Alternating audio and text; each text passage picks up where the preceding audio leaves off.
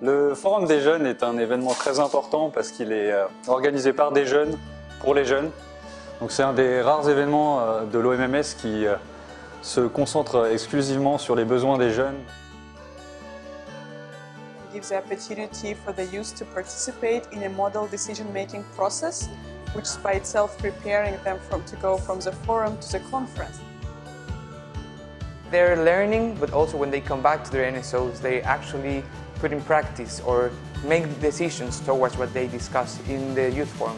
It is not only going to think or say your, your opinion, but also going back and do something. Estos foros nos permiten capacitarnos, entrenarnos y generar la incidencia que los jóvenes queremos en el movimiento.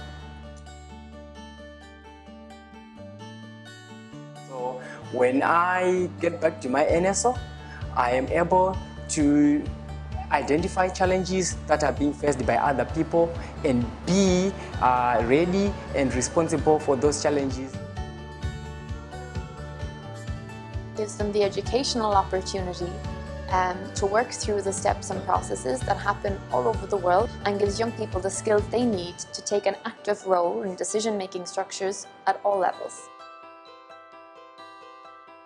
потому что дал возможность стать голосом всей молодежи Евразийского скаутского региона. Как я чувствую, что это очень большая ответственность. هو بشكل مساحة حقيقية للشباب مشان مشان يحكوا يحكوا بصوتهم بدل ما حد يحكي بصوتهم Nous vous attendons tous avec impatience en août à Gabala en Azerbaïdjan pour participer au Forum mondial des jeunes.